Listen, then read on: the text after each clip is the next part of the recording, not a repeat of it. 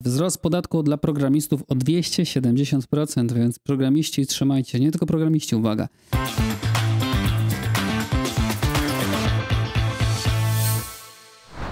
Manubel pisze, informatycy korzystając z IP Box zapłacą 270% wyższe podatki.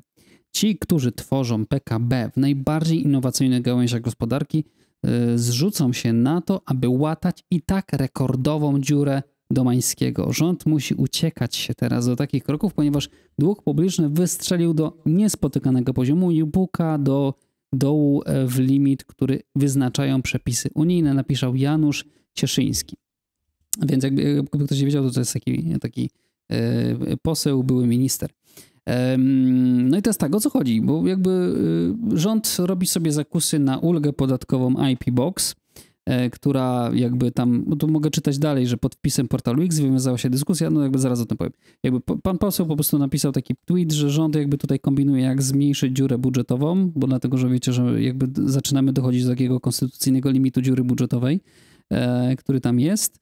I IP Box to była taka ulga dla mm, wszystkich ludzi, którzy tworzyli kreatywne rozwiązania oparte na, jak to nazwać, tak? Jakieś tam rozwiązania takie, że że... Znaczy chyba generalnie wszystkie związane z pracą twórczą. Pracą nie? twórczą, no, no właśnie, wszystkie związane, czy jak tworzysz utwór muzyczny, jak tworzysz jakieś rozwiązania IT, informatycy tak, tak. bardzo chętnie z tego korzystali, no bo tworząc jakby tam kompilując kod i tak dalej, tworząc, zrobili jakieś unikatowe rozwiązania, to jakby korzystali z tego. A ulga poda, polega na tym, że dochód z kwalifikowanych praw e, własności intelektualnej opodatkowany jest stawką tylko 5%. Nie? No i teraz pod tym wpisem na X wywiązała się wielka dyskusja, no bo wszyscy, nie, nie wszyscy zgadzają się z tym stwierdzeniem, że osoby korzystające z IP Boxa tworzą innowacyjne gałęzie gospodarki polskiej.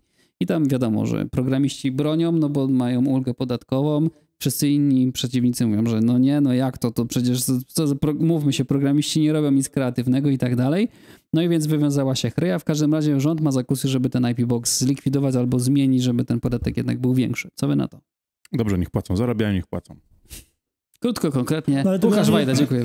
Słuchajcie, generalnie taki jest tego artykułu, nie? Jak ja sobie go czytałem, przygotowując ten Panowie, ale gdzie my żyjemy? No słuchajcie, sorry, bo ja nie mogę. Sorry, no, że musisz, ci przerwę. No. Słuchajcie, co chwilę zmiany przepisów. Robisz firmę, ustawiasz się z klientem, dogadujesz się do ceny, zmieniają ci warunki opodatkowania, dokładasz do biznesu. To co robisz? Nie kończysz tego, przecież to jest bez sensu. Dlatego ja uważam, że złote... Nowe łady, nowe, nowe łady, IP-boxy, estońskie waty, estońskie te, y, masz nieruchomości na wynajem, już nie możesz ryczałtem się rozliczać. Przecież to jest chory kraj. Słuchajcie. No ja tylko uważam właśnie, że idealnym każdym, biznesem jest każdym... księgowość.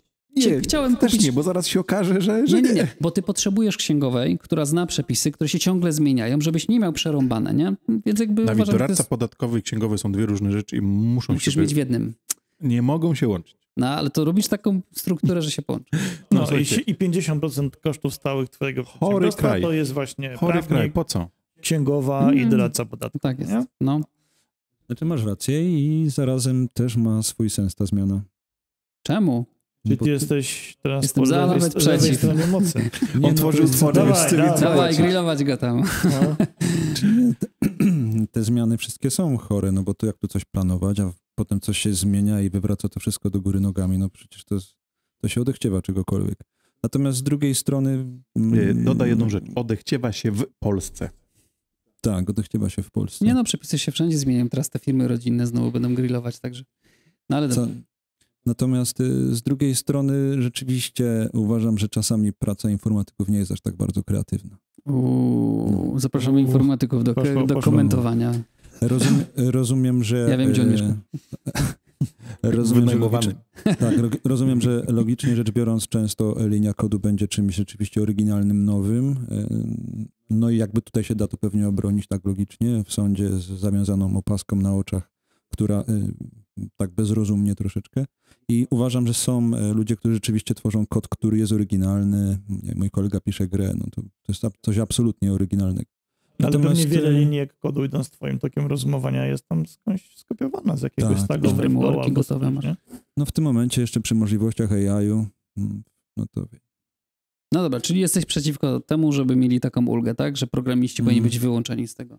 Znaczy nie, jestem za tym, żeby mieli te ulgi, natomiast jeśli bym to miał tak definiować, no bo posługując się logiką, no to uważam, że nie jest to aż tak bardzo kreatywne. Czyli jesteś za tym, żeby mieli te ulgi, bo dzięki temu będzie można je im zabrać. Mm.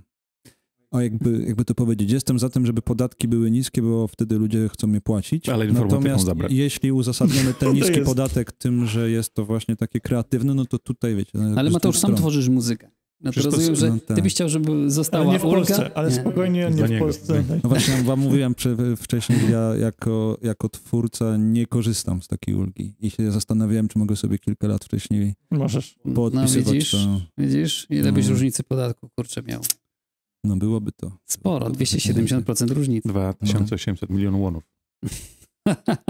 też powiem, wam, też powiem wam, że y, niekoniecznie w tej muzyce to są tak bardzo twórcze rzeczy. Nie? No Często. tak, ale to przed, przed sądem musisz tłumaczyć, że są. Tak? No, natomiast udowodniłbym to przed sądem, że to są absolutnie nowe. No, słuchajcie, bo tak. zanim mi, mi Łukasz przerwał, y, twórczo oczywiście, y, to, to chciałem właśnie powiedzieć, że ten jakby sam wydźwięk tego artykułu jest taki, że cudownie, super, że wreszcie ktoś się za to zabrał ktoś i tą ulgę tak. i tą ulgę wziął i będziemy mogli płacić większe, większe podatki, nie? Więc tak, tak, ja mam taką prywatną teorię, mm, już się z chłopakami przed nagraniem dzieliłem, polityczną, że to trochę takie zagranie w Mencena, nie? Mm -hmm. że Mencen tam został namaszczony e, na, e, na mm, przyszłego prezydenta, czy przynajmniej kandydata na przyszłego prezydenta. Już jest. No właśnie.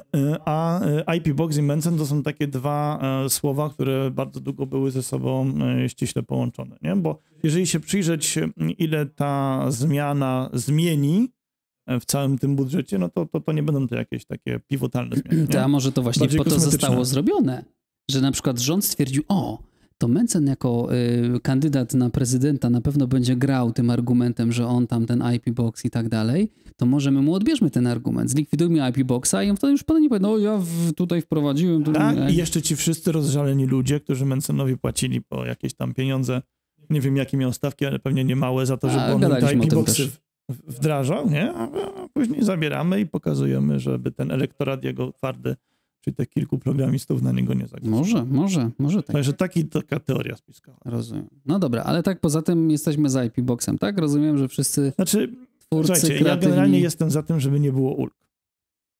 To przepraszam, bo to tak lewacko zabrzmiało, ale tylko z jednego prostego powodu, bo jestem za tym, żeby te, te jak powiedziałeś Mateuszu, podatki były jak najniższe, jak najprostsze. Jak Ulga komplikuje podatek, bo jeżeli ja mam, prowadzam podatek i od razu piszę, ci podatek sprowadzam na 10... jest to, to, to i to, tak?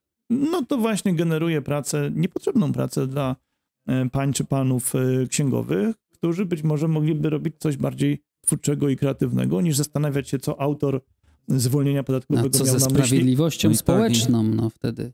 No bo wiesz, ulgi są po to na przykład, że nie wiem, że wszyscy ludzie mają podnosić 100 kilo, ale musimy zrobić ulgę, no ale zaraz kobiety są słabsze, no to musimy zrobić ulgę, tak, że one, jakby wiesz, sprawiedliwość społeczna polega na tym, że dostosowujemy mhm. różnego rodzaju przepisy do różnych ludzi, tak, różnych grup społecznych, żeby uwzględnić ich interesy, że tak powiem, nie? Dawid, ale ja ci powiem jedną rzecz. Okay. Przejdźcie ulicą, o. kup gazetę w kiosku. Kiedyś się przeszedłem nawet raz. Zrób dwa kroki dalej, kup zapiekankę. Idź jeszcze dalej, kup coś w malutkim sklepiku. Taki quest. Tak. Quest. A potem idź jeszcze kawałeczek dalej, kup coś w warzywniaku. I nie ma takich biznesów. Nie ma takich biznesów. Wszystkie ulgi, wszystkie podatki, wszystkie przepisy zabijają najmniejszy polski biznes. Mhm. Idziesz nową hutą i ja na przykład kojarzę jeszcze ten, tę te, te, te, część Krakowa sprzed nastu lat i tam na rogu były zapiekanki, pan był zegarmistrz, bar na rogu jakiś tam, obok był jakiś fryzjer. Nie ma. Bo oni z nich nie korzystają, nie bo nie wiedzą i nie potrafią. Za to wielkie korporacje doskonale wiedzą, bo mają całe działy prawników, którzy tak im opracują przepisy, kiosk... co mają zrobić, żeby, żeby im się, Ale żeby pani, żabkę można kiosk, było w niedzielę prowadzić. Mój drogi, no jak ma z tego skorzystać, jak ona od rana do nocy w tym kiosku siedzi gazetki sprzedawała, to kiedy ona miała do męca na czas iść?